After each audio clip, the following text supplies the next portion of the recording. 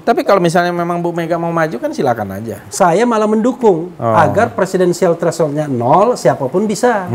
Kan menarik tuh kalau Bu Mega Menarik. pasangan sama Puan Maharani.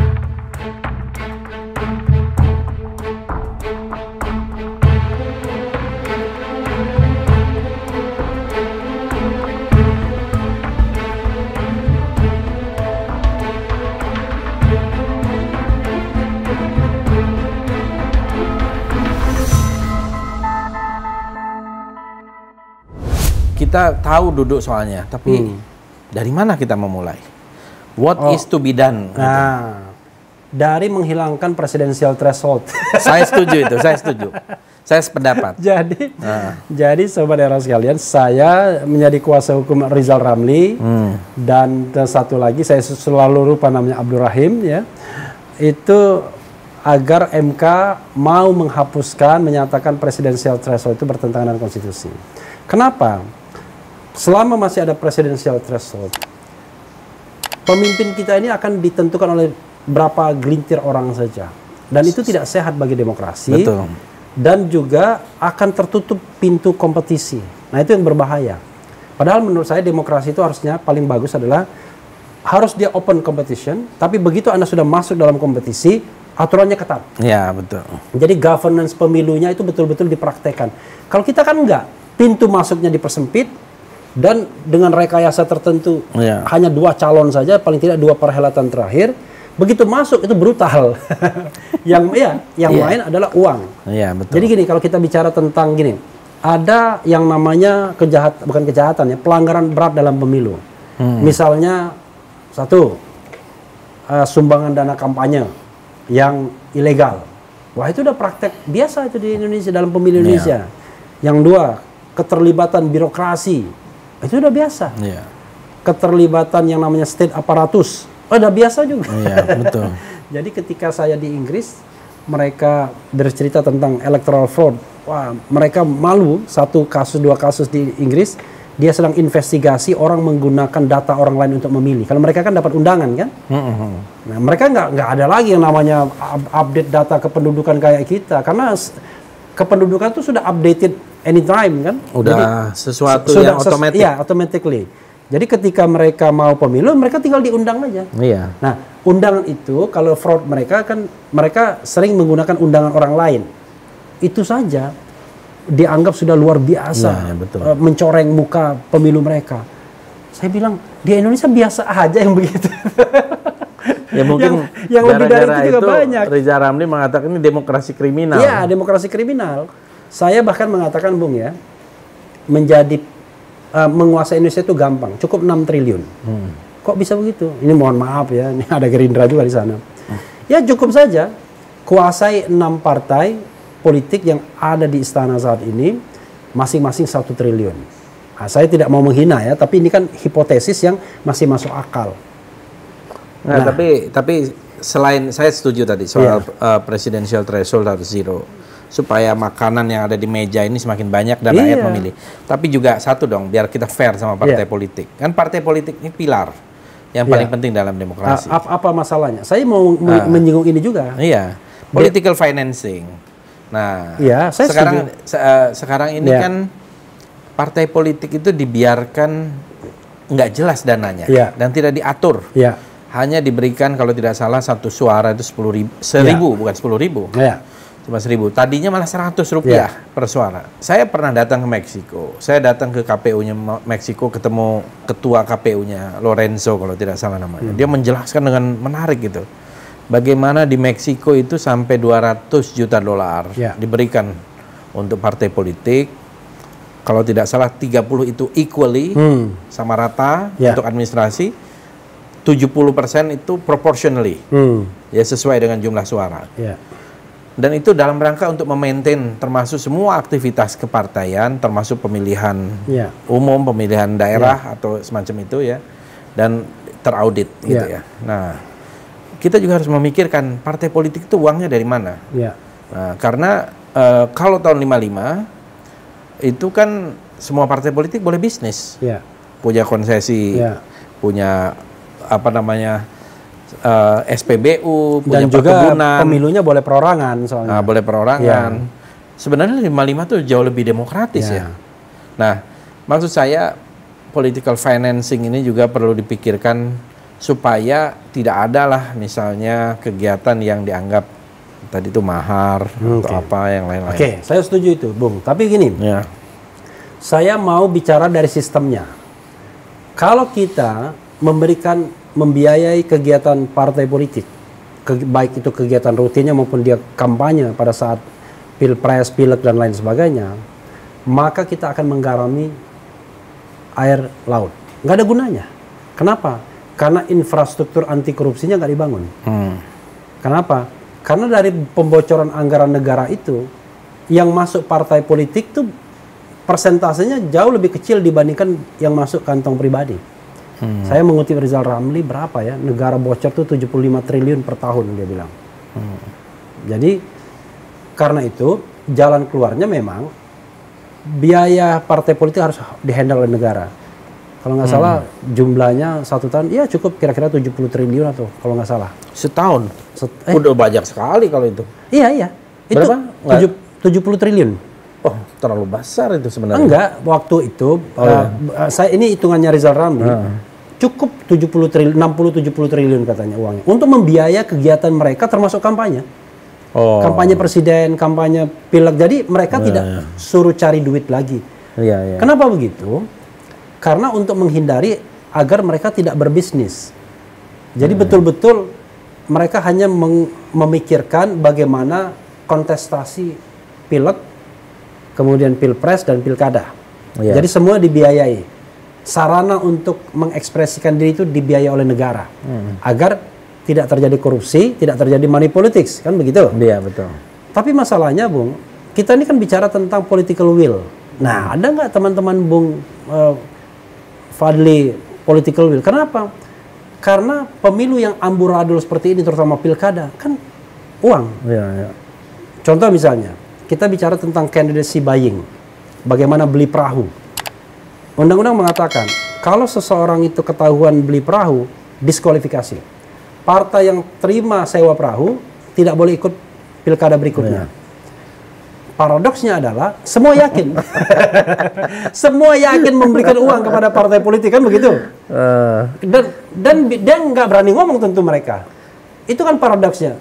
Semua yakin bahwa ya, semua kandidat dianggap kasih itu uang. sebagai uang untuk kampanye kan? iya lalu kemudian dengan santainya wah ya itu kan uang ya entertain dan lain sebagainya untuk untuk kelangsungan hidup partai tapi pertanyaannya adalah berapa yang masuk partai berapa yang masuk kantong pribadi jadi lagi-lagi akhirnya oke presidensial threshold oke kita sepakat kan Iya, iya.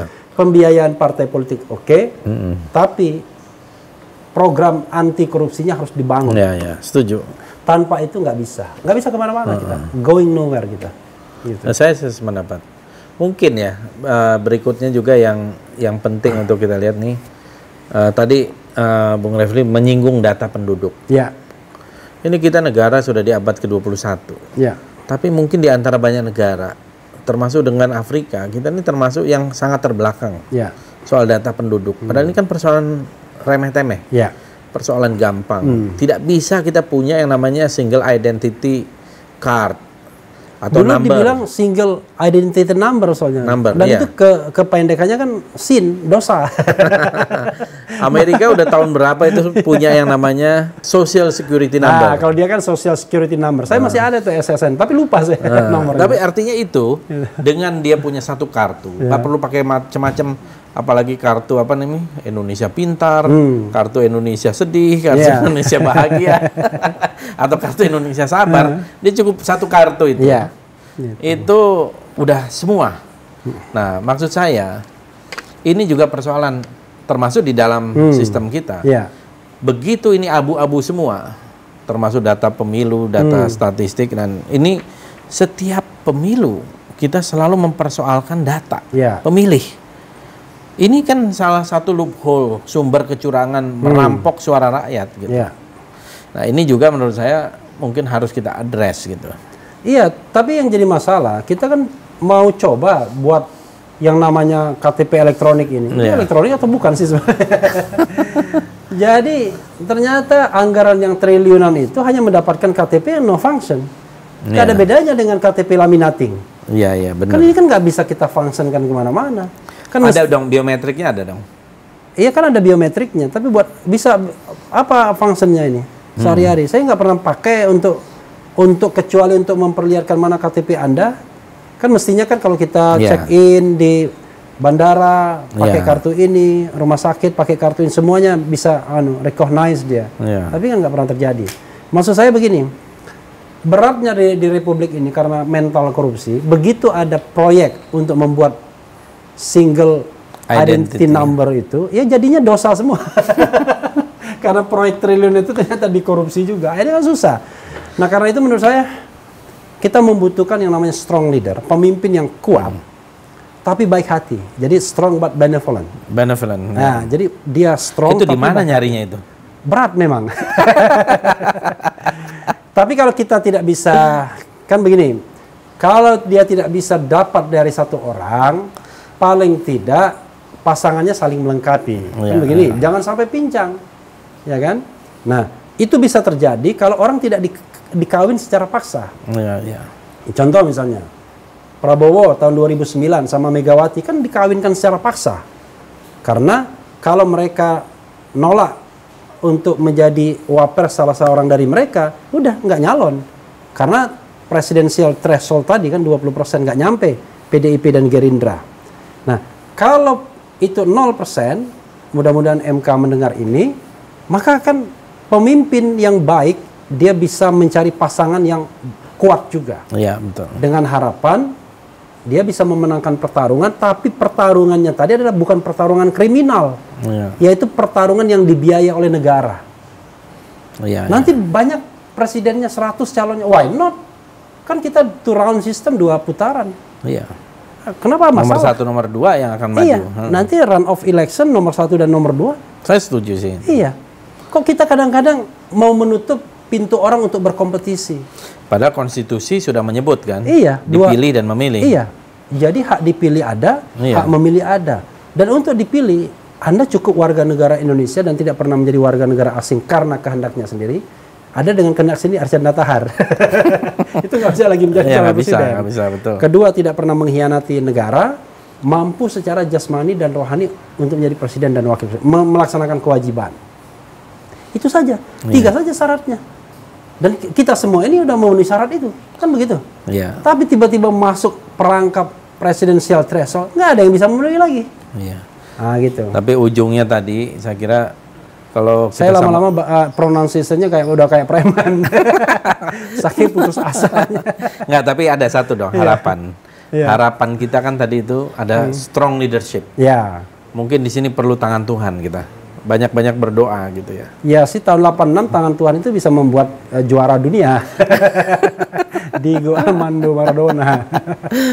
tahun 86. Jadi eh, kalau kita, saya yakin lah Indonesia ini bisa selamat gitu ya. Hmm, oke. Mungkin Ya saya juga saya juga berdoa dan selalu opti- harus selalu nggak, yang paling penting itu tadi usaha-usaha itu, terutama seperti Mahkamah Konstitusi. Ya.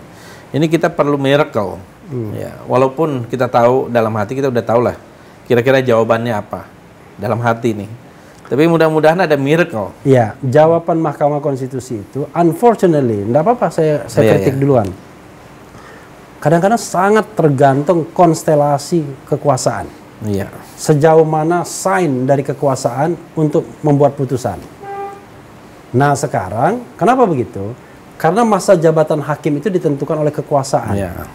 Sekarang tidak lagi karena mereka sudah digaranti, sudah digaransi menjabat. Jadi ada yang baru terpilih 2019 itu itu akan pensiun baru 2000 2034. Eh, apa 2100 ah, 2034. 2034 ya. Jadi baru 2034 pensiun. Teman kita Saldi Isra Saudi ya kan? Isra tahun berapa itu nanti? 2000 eh, kan dia kan 2016. Eh 2017 dia. Iya. Jadi dia di 2017 baru nanti 2021. Eh 2000 31. 2022, eh 2032. Hmm. 2032. Jadi dia sudah sudah terjamin masa jabatannya tidak perlu asking for re-election ya kan baik kepada DPR, kepada presiden maupun kepada Mahkamah Agung. Yang penting adalah mereka bekerja sebaik-baiknya untuk betul-betul menjaga konstitusi. Kenapa, Bung? Saya tuh sangat yakin sekali harusnya presidensial threshold itu nol. Iya. Karena begini, kalau kita baca pasal 6A ayat 2 Undang-Undang Dasar 1945 itu kan mengatakan begini. Pasangan calon presiden dan wakil presiden diajukan oleh partai politik atau gabungan partai politik sebelum pemilihan umum. Artinya, standing untuk mengajukan calon Anda cukup Sangat menjadi kuat. Iya, dan cukup menjadi peserta pemilu. Jadi as long as Anda peserta pemilu, Anda punya standing untuk mengajukan pasangan calon. Dan apalagi sebelum itu disebut. Iya, sebelum pemilu. Nah, sekarang Artinya belum ada angka dong. belum ada angka. Ya kemarin belum ada angka, tapi kan ngarang dia. Iya, iya, betul. Angkanya ngarang pemilu Ini sebelumnya. tidak kan? masuk logika memang. Nah, yang tidak masuk logika ini dibenarkan oleh MK. Maka Iya. pusing kepala saya. Makanya bahaya juga kalau MK ini berpolitik. ya. Gitu. Mudah-mudahan dengan perjaminan masa jabatan satu periode 15 tahun ini mereka cukup rasional. Toh hidup mereka sudah terjamin sekarang ini kan. Iya. Dibiayai oleh negara. Apalagi nih hakim konstitusi kan wakil Tuhan juga ya. Iya, semua hakim kan wakil, Wakil Tuhan, ya Tuhan. kan? Tapi ini wakil Tuhan di dunia ya kan? Gitu. Wakil Tuhan bahaya kalau misalnya tidak berlaku dengan adil. Iya. Saya kira itu harapan kita ke depan mungkin Bung Refli ya. Iya. Bagaimana ada miracle-miracle kecil gitu. Termasuk menurut saya perlu juga ada yang membisikkan. Saya sebenarnya menyampaikan juga beberapa hal kepada orang-orang yang dekat dengan Pak Jokowi gitu. Iya. Beliau sudah periode kedua, Iya. nggak akan maju ke periode ketiga tentu saja. Tidak mungkin oleh konstitusi. Jadi tinggal sebetulnya yang ditinggalkan legacy. Legacy. Legasinya apa yang mau ditinggalkan? Saya bilang kalau Pak Jokowi mau dikenang sebagai orang yang boleh dianggap menyelamatkan demokrasi kita, Hmm. ya hilangkanlah itu presidential threshold. Oke. Gitu. Iya, cuman begini, Bung ya. Susahnya adalah kita bicara tentang masa jabatan yang dua periode itu yang akan berakhir 2024. Kita tidak bicara sebuah bangunan rezim atau oligarki kekuasaan. Yang itu unlimited time, tanpa batas. Betul. Nah, oligarki ini kan selalu ingin berkuasa terus. Oke, orang bisa berganti, tapi oligarki itu still there, kan begitu? Nah, mereka berkepentingan terhadap presidensial threshold ini tetap dipertahankan. Itu persoalannya. Ya, karena mereka ingin lebih mudah mengatur. Iya, mereka ingin put somebody, ya Iya. kan, to the Makanya office of the saya bilang presidency, ini- dan kemudian mereka bisa mengatur dari belakang. Kalau itu yang masih terjadi, memang kita harus me- apa seperti saya tweet tempo hari itu Iya. menjawab Pak Mahfud MD. Hmm. Apa ini bukan namanya cukongkrasi? Demos rakyat, kerasi pemerintahan atau cukong Hmm. pemerintahan gitu. Kalau itu kan namanya nggak bisa lagi disebut demokrasi gitu. Iya, contoh misalnya ke dalam konteks pilkada, Pak Mahfud bilang 92 persen, walaupun angkanya keliru, katanya Akhirnya di, sebenarnya 82. diralat kan? Ya, 82 itu pun versi KPK kan. Tapi oke, okay. 82 persen itu kalau kita kuliah itu dapat A nilai kita di atas 80 nilainya itu kan. sebenarnya sebuah pengakuan ya Iya, sebenarnya gitu. dan pengakuan itu dari negara loh. Iya. Dari negara, dari unsur negara yang sangat penting dan berhubungan dengan bidang itu. Kenapa tidak do something untuk menghilangkannya? Saya berharap misalnya, contoh ya, kalau di dalam pilkada itu, kalau dalam politik kedaerahan ini kan kita bicara tentang yang namanya apa? Sentralisme, sentralisasi. Tapi dalam partai politik terjadi sentralisasi yang luar biasa dalam pilkada. Coba bayangkan, bagaimana mungkin kepala daerah itu ditentukan oleh pusat? Kalau kita bicara tentang kepemimpinan from the bottom harusnya kan, bagaimana dia tumbuh? Pusat hanya melihat aja. Jadi mana yang anda usulkan? Kalau anda usul, ini yang diusulkan Ahmad Purnomo yang muncul yang lain. Padahal uh, pengurus DPC kan sudah melihat nih, ini orang yang sudah tumbuh dari bawah, sudah bekerja, sudah tahu pola kerjanya, loyalitas ke partainya jelas, dibawalah ke pusat. Pusat, no no no no. Saya pengen yang ini saja. Nah ini yang menurut saya merusak merusak uh, apa regenerasi kepemimpinan kita juga akhirnya. Itulah jangan sampai justru itu yang justru dijadikan legasinya. Iya. Itu Tapi begini Bung, kalau soal legacy itu justru saya khawatir ini mudah-mudahan didengarkan uh, Pak Jokowi begini. hidup ini kan sekali aja. Iya. Dan pendek loh. Iya, iya. Dan kita tidak tahu kapan kita diambil nyawa kita kan. Dan ketika nyawa kita diambil kan kita harus pertanggungjawabkan semua apa yang yang kita punya, terutama kekuasaan. Makin besar kekuasaan yang kita pegang, pertanggungjawabannya makin besar. Iya. Godaannya adalah tahun 2024 Presiden Jokowi baru berusia 62 tahun. Tahun 62 dia lahirnya kalau nggak salah. 61. 61 ya, 61. Wah, penghafal betul ya. Tanggalnya saya ingat 21. Soalnya beda 10 tahun. Tanggalnya saya ingat 21, 21. Juni, ya kan? Waduh, ada tiga presiden yang lahir 21 Juni, yang Juni ya. Soekarno 6 Juni, Pak Harto 8 Juni, Jokowi 21 Juni. Jadi Gemini Club. Saya Ah, termasuk Gemini. Gemini Club juga. Oh, Gemini Club juga. 1 Juni. Oh, satu, wah, pantas saja menolak Pancasila. Biasanya begini, kalau orang yang sama tanggalnya, itu dia cenderung dia menolak ya kan? Nggak bisa dia klop. Enggak gitu kalau ya. dalam soal itu saya ada, ada Soalnya kita punya teman juga yang tanggalnya sama dengan Pak Jokowi. Entah di mana orangnya. Enggak, waktu itu saya diprotes. Ah. Kenapa ketika bicara 1 Juni hari libur, Ya. saya mendukung gitu loh. Saya memang terjadi konflik of interest. Ah itu. Dan kita tahu ketika ada konflik of interest kita nggak mungkin objektif ya kan. Yang menjadi masalah adalah dia masih berusia 63 tahun. Saya melihat gejala gini bung. Tapi Gejala kan udah dipersiapkan mau jadi sekjen PBB. Oh iya, itu itu harapan orang setelah dia berpidato ya. Tapi begini, Bung. Ini mohon maaf Pak Jokowi ya. Persoalannya gini, sekarang ini ada eh, apa ya? Bukan percepatan regenerasi politik, tapi pelambatan. Iya. Gara-gara Mahathir Muhammad juga. Iya, Benchmark jadi berubah. Iya, benchmarkingnya tadinya tujuh, eh, 60 tahun Nabi ya 63 menjelang 70 sudah pensiun. Maka presiden kemarin kan 50-an, 50-an kan? Iya. Sekarang nggak ada jaminan. Iya. Mau 60-an, 70-an itu bisa nyalon. Saya khawatir nih, Bung. Ini mohon maaf juga ya. Karena saya harus, mohon maaf terus ya. Kita ngomong realitas. Maaf sama siapa? Mohon maaf yang merasa tersinggung. Mungkin bukan tidak mungkin Bu Mega Iya, iya, tergoda. iya. Oh iya iya. Bu Mega tidak punya yang namanya constitutional uh, apa restraint untuk mencalonkan diri sebagai presiden. Bahkan dia bisa Tapi dikatakan kan hak itu. hak dia. Tapi bisa jadi kan walaupun usianya di atas 70 Tapi tahun. kalau misalnya memang Bu Mega mau maju kan silakan aja. saya malah mendukung Oh. agar presidensial thresholdnya nol, siapa pun bisa. Kan menarik tuh kalau Bu Mega Menarik. pasangan sama Puan Maharani. Kalau setiap partai semua mencalonkan kan ada 9 calon maksimum. tidak hanya sembilan, kan kita tidak tahu berapa jumlah partai politik peserta pemilu. Oh iya, kita belum tahu ya. Kemarin 16, ya kan? Iya, iya, Sekarang kan betul. kita nggak tahu. Iya, Katakanlah mas, eh, saya membayangkan 9 partai ini oke, Iya iya. kemudian PBB masih oke 10, PKPI masih oke 11, kemudian partai PSI masih oke 12, Perindo, Hanura. Perindo du- eh, 13, Haruna 14. Yang enggak mungkin berkarya sama Garuda mungkin. Garuda mungkin nggak pernah lagi kedengaran eh, berkarya masih struggling kan dengan konfliknya. Let's say 14 partai politik. Bayangkan kita punya 14 sloting calon. Kan nggak banyak-banyak juga. Nggak banyak. Kalau itu menggunakan semua menggunakan peluang itu. Saya nggak yakin juga kan. Paling mereka nanti melihat. Ya, oh ini yang lebih bagus, Iya. dia jadi calon wakil. Saya wakil. ingat waktu eh, Pak JK waktu menjadi calon presiden tahun 2009 setelah menjadi wakil presiden, dia mengatakan untuk menjadi capres saja 2009 itu minimal 100 miliar dia harus keluar uang pribadi.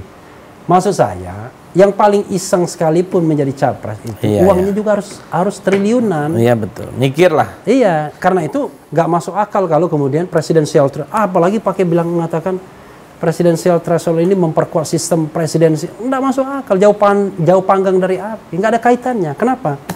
Buktinya Gerindra, Gerindra kan tidak mencalonkan Presiden Jokowi. Iya.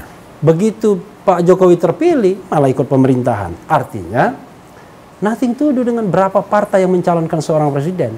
Pasca terpilih, dia bisa saja mengajak sebanyak mungkin partai untuk menjadi mayoritas di parlemen. Dan tidak ada partai politik yang tidak tergoda untuk ikut kekuasaan. Karena kekuasaan itu kan nikmat. yang jelas-jelas eh, oposisi kan cuma PKS. Ya, ada juga dong. Itu. Eh, misalnya kalau kita lihat ya, itu ada buku A Team of Rival. Ya, tim of rival ya. Ya, Abraham Lincoln. Ya itu kan pernah disinggung Bung Panli dalam video saya kan? Video itu. Iya. Iya. Jadi maksud saya itu harusnya memang sebuah keteladanan. Iya, iya. Yang tadi ini kita ada kaitannya. Bagaimana orang yang menang itu, eh, orang yang udah masuk di dalam Hmm. Dalam sebuah kompetisi itu kan final, Iya. final ya. Iya. Jadi mereka calon-calon presiden ini udah di final. Iya. Pasti orang-orang yang sudah terpilih lah, Iya. kira-kira. Jadi kalau dia dimintai dukungan bantuan sebenarnya hal yang biasa. Oke. Dan menurut saya itu bagus dalam membangun kedewasaan Iya. berpolitik. Tentu sesuai dengan Iya. kapasitas, kapabilitas gitu. Iya. Nah, menurut saya ke depan juga eh, supaya kita memang tujuan kita kan sama. Kan waktu itu Abraham Lincoln mengatakan apa se, saya su- lupa namanya Su- Seward apa siapa itu? Seward, Seward. Seward. Dia Iya. bilang Seward bilang kamu mau mengangkat saya sebagai Secretary of Iya. State. Terus eh, kamu tahu saya ini benci pada kamu gitu ya. Abraham Lincoln saya juga nggak suka sama kamu. Tapi saya tahu bahwa kamu cinta Amerika dan saya juga cinta Amerika. Kalau dua cinta ini kepada Amerika ini, ya ini kita akan membesarkan Ya Amerika. justru kan kita berharap bahwa eh, Prabowo ya kan memberikan eh, pengaruh signifikan terhadap pemerintahan Presiden Jokowi. Nah, se- masalahnya sepertinya belum terjadi. Ya ini belum setahun lah ya. Oh, belum setahun lah ya. Oke. Tapi begini, saya sih setuju saja. Jadi misalnya setelah kompetisi apa pilpres, lalu ada rekonsiliasi di antara. Kan begini, maksudnya gini. Kalau misalnya calonnya lebih dari dua, katakanlah lima calon, kan wajar saja. Wajar. Wajar kemudian mengajak eh, dua atau pas tiga pasangan calon. Bahkan konsolidasi itu sudah terjadi di putaran kedua. Kalau terjadi putaran kedua, pangkal persoalannya adalah karena presidensial threshold itu membuat calon itu cuma dua Iya. karena di grab di grabbing oleh partai politik oleh cukong oleh oligarki kekuasaan sehingga hanya menghasilkan dua slot karena kan undang-undang eh, pemilu mengatakan anda nggak boleh borong semua partai politik Betul. harus menyisakan yang memungkinkan masing ada satu calon. Nah, saya selalu ngulangin, Bung. Kalau partai istana ini kompak semua masih 20%, maka satu calon dia. 6. Tiga calonnya 22% saya sudah hitung, dia satu calon lagi. Jadi tiga ini akan dipaksa kawin. Bahasanya begitu ya, dipaksa Iya, kawin iya. politik. Karena kalau satu menarik diri, maka dua ini nggak bisa nyalon. Dan satu yang menarik diri ini akan di-banning. Karena kalau dia punya kesempatan nyalon, dia nggak nyalon, maka dia akan di-ban. Karena itu dia akan dipaksa nyalon. Iya. Pertanyaannya adalah kan belum tentu mereka ini mereka ini cocok satu sama lain. Satu sama lain. Apalagi Chemistry-nya. Iya, chemistry. Apalagi ada yang mengatakan begini, ah ngapain kita presidensial threshold dihilangkan? Kan kita bisa ini, kita bisa mengadakan konvensi. Aduh, orang nggak baca sejarah apa. Baru saja sejarahnya. Demokrat mengadakan konvensi nggak ada gunanya.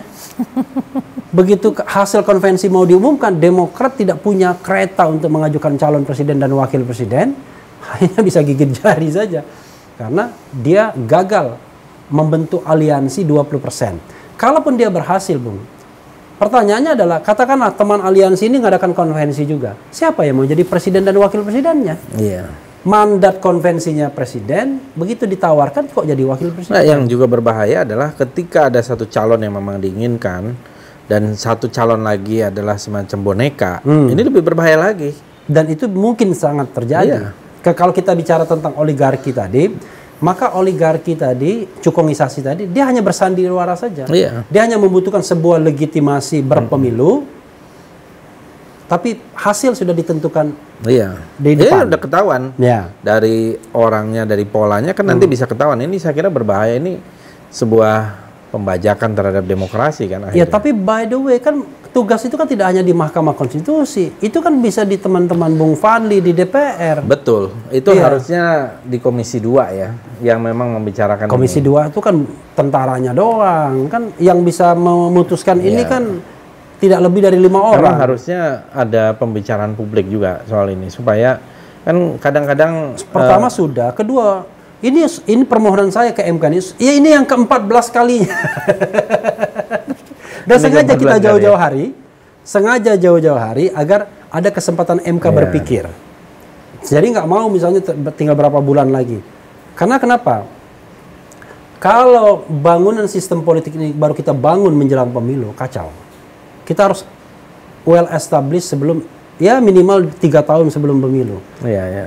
Jadi ketika berpemilu kita sudah lebih beradab.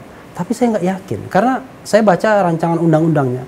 Hal-hal yang kita kita prihatinkan ini nggak diadres, nggak dijawab. nggak di, berupaya dipecahkan. Sehingga saya sudah bisa menduga 2024 brutal juga. Hmm. Oke, nanti misalnya ya presidensial threshold di, eh, dihilangkan. Kalau infrastruktur berpemilu yang baik itu tidak dibangun, ya sama brutal juga. Cuma brutalnya ini adalah brutal pasar yang lebih bebas, tidak Iya. pasar dua calon. Gitu. Dan ini bukan urusan MK, Bung. Iya, Urusan Bung Fadli dan teman-teman di DPR. Eh, saya setuju. Ya, artinya kita harus menularkan pikiran ini ke banyak teman-teman dan juga terutama adalah pengambil keputusan Ya. Di partai yang pada umumnya adalah ketua umumnya kan gitu. Iya. Jadi, Jadi- bukan kalau di partai bukan oligarki elit tapi personalisasi. Iya, itu adalah realitas kita ya, sekarang. realitas. Saya kira ini pembicaranya menarik ya, Bung Refli. Tapi ada waktu masih. Oh iya. Apa yang kita bicarakan ini kan sebagian adalah proses Oke. dan mudah-mudahan uh, proses ini mengarah kepada sesuatu yang kita inginkan dan rakyat inginkan dan juga democratic value yang Iya. kita harapkan gitu. Nah, Kadang-kadang begini, kadang- kadang-kadang saya sedihnya begini Bung ya. Masyarakat ini kadang-kadang ka- saya kan eh, ber-YouTube Ria ini sudah mulai enam bulan terakhir, enam setengah bulan ya. Alhamdulillah udah subscribernya udah banyak. Luar biasa, ya. luar biasa. Udah 500 ribu lebih ya, lumayan lah untuk lumayan politik dong, Iya lumayan. kan? Kadang-kadang ini kalau begini. newbie ini kita masih baru. masih baru. Tapi kan siapa yang nggak kenal Fadlizon kan? Sebagai dulu ada duet ujung tombak ya. Kalau dalam uh, dalam pemain permainan sepak bola itu ada ada kan uh, striker tunggal. Ini ada ada anu striker double double striker. Memang jarang dalam per- skema permainan sepak bola. Biasanya sekarang orang mainnya 4 5 1 kadang-kadang 4 4 2 kan tapi eh, 4 4 2 itu udah mulai jarang. Iya. yang namanya uh, striker double itu jarang biasanya. Nah itu kemarin kan Fahri Hamzah, tapi teman kita satu itu sepertinya sudah mulai masuk kolam. nanti Mungkin- Bung Fahri uh, klarifikasi aja ya nanti kita ngobrol-ngobrol lagi kayak seperti ini ya. Jadi Terima kasih. Saya kira ini pembicaraan yang sangat mengalir tanpa skenario, ya. tanpa Dan catatan. idenya pun beberapa menit sebelum kita duduk di sini. ya. Ah, itu dia. Saya kira itu yang luar biasa, impromptu gitu ya. Iya. Mudah-mudahan ada pengaruhnya. Ya, bincang saya dengan uh, Fadli Zon, uh, anggota DPR dari Partai Gerindra. Dan ini sebenarnya bukan uh, bukan perbincangan seperti halnya tanya jawab, saya tanya kemudian Fadli Zon menjawab, tapi ini adalah sebuah apa ya? crossfire. Walaupun saya tidak mewakili siapa pun ya, beliau mewakili dari partai politik tapi dalam perbincangan ini beliau adalah pribadi yang mandiri, independen dengan view, dengan pandangan, dengan perspektif yang mandiri juga. Nah, mudah-mudahan apa yang kita eh, bicarakan itu bisa menjadi pembelajaran baik bagi kami maupun bagi kita semua. Karena kalau bilang kami dan kita, kadang-kadang terakhir-terakhir ini agak eh, agak sensi ya. Karena itu saya sebutkan semua bagi kami dan bagi kita semua. Terima kasih Bung. Refli dan saya juga merasakan ini sebuah perbincangan yang tidak direncanakan tetapi mengalir dan pembicaraan soal negara, soal ekonomi, politik, sejarah gitu. Ini bisa menjadi bahan kita untuk didiskusikan lebih lanjut. Jangan-jangan kita perlu lakukan lagi nanti sekali waktu boleh, ya. boleh, ya. boleh.